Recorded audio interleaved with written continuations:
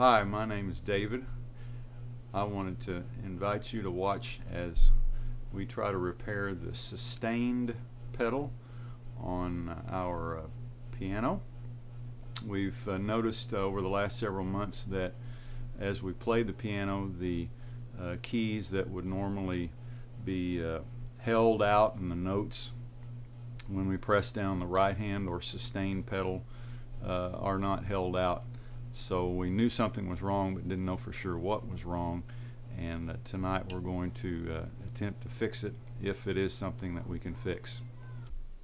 To show you what uh, we've noticed as we played, uh, for those that aren't pianists or maybe that are, we uh, have found out that our notes, when we press the sustain pedal, which is the right hand or right foot pedal, don't continue to play. So something is wrong with that pedal in the mechanism to keep it from holding out the notes as it's supposed to. So we're going to try to find out what the problem is and repair it tonight.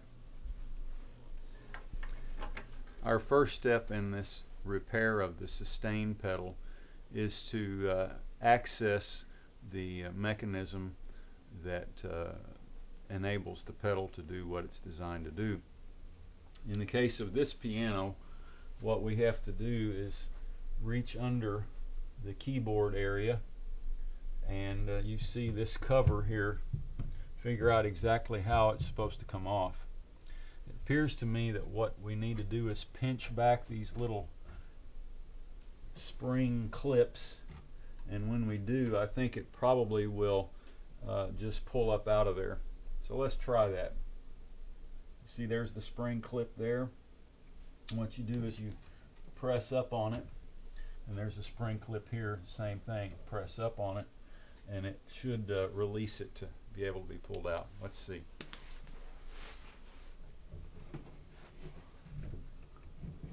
Okay yeah. All right. Now you have an eye as to what might be the problem let's look here here's the pedal mechanism. Notice the soft pedal has a place where you press with your foot and then this arm other uh, parts of the mechanism down here and this arm and then it's connected to a rod that goes up here out to a place out of sight. Lo and behold the sustain pedal has the same design but the rod is missing. Where is the rod? lo and behold, looky here. Here is the rod. It had fallen down inside, and it looks like that something is missing. This little tip, metal tip, and a kind of a rubber grommet sort of thing is on one end, but it's got a hole and no metal tip and rubber grommet on this end so something's missing. Let's see if we can find it.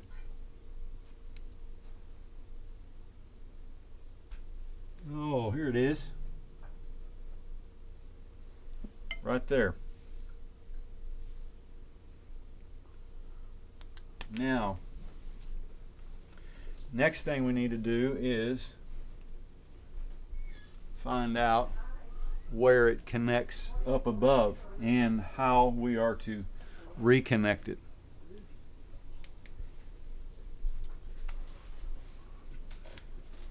We have to look around here and see what we can find. Okay. I see a good possibility right here. I don't know if our camera can come up in there and see. If you look up there, this let's see if I can feel it from under back here where is it? Right here. This piece right here there's a hole in it. I suspect that the rod is to go up through that.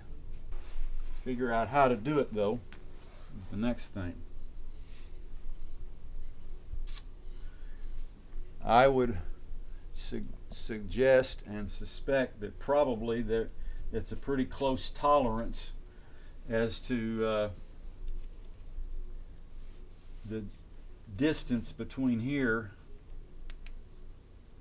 and up at the top on the rod. So therefore, uh, you're going to have to get it pretty close and maybe even uh, hold your mouth right, so to speak, in order to uh, get it in and not break something. The rod is pretty pretty sturdy, but I don't want to bend it in the process and in, in that way warp something or distort something. So I'm going to try my best to figure out a, a way to get it in. What I think might be the best way is to put this end up above at that bracket that we saw underneath and put it in place and then this pin slide in from below right here in this hole on the arm and press it up into the bottom of the rod the hole that's there and reconnect it. And we'll see if that works.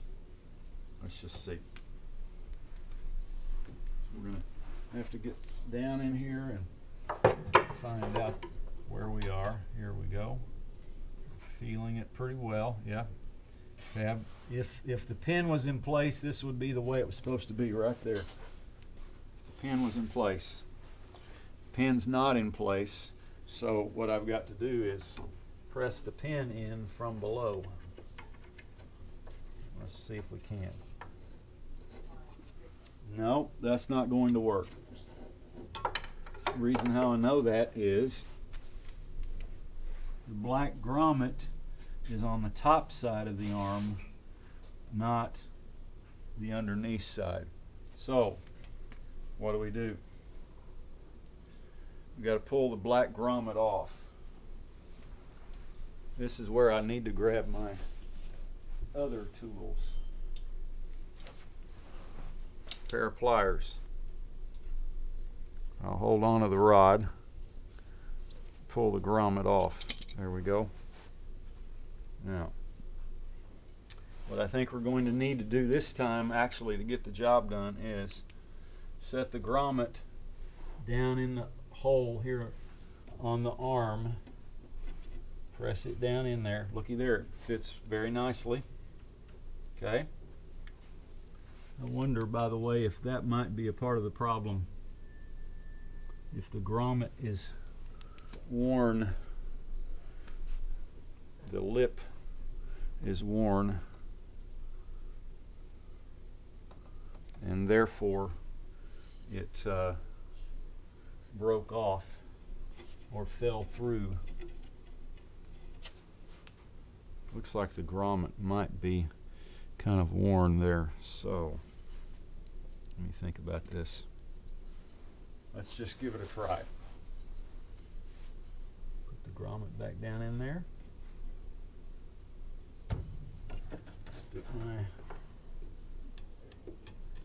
rod end on the top end.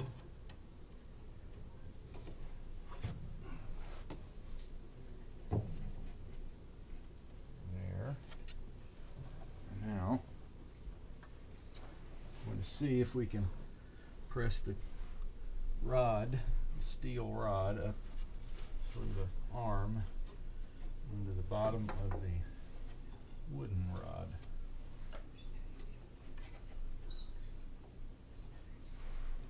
Getting my hands up in there is the hard part.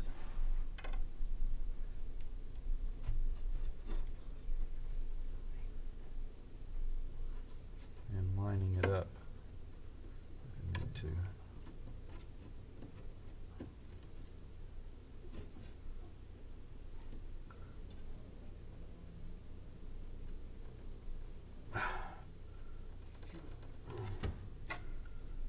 Okay.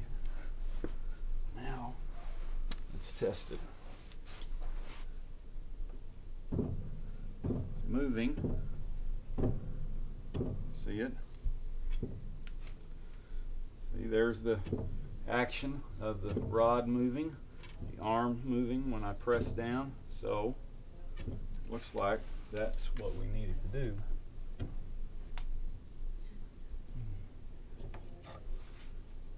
Hmm. Let's see we get now.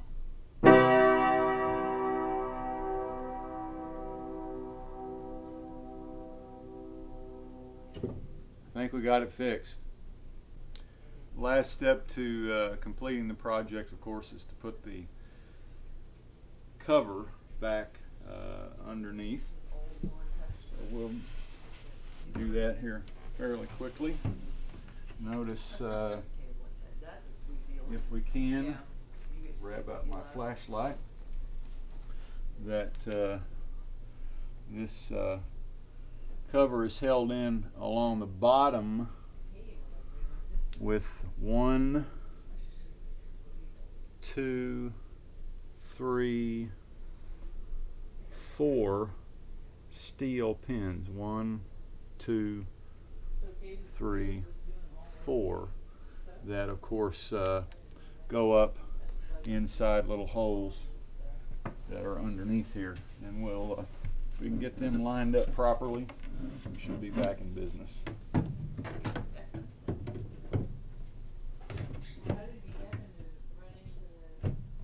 There we go. Now we just pop it back in past those little clips. All right, we're good. Thanks for watching.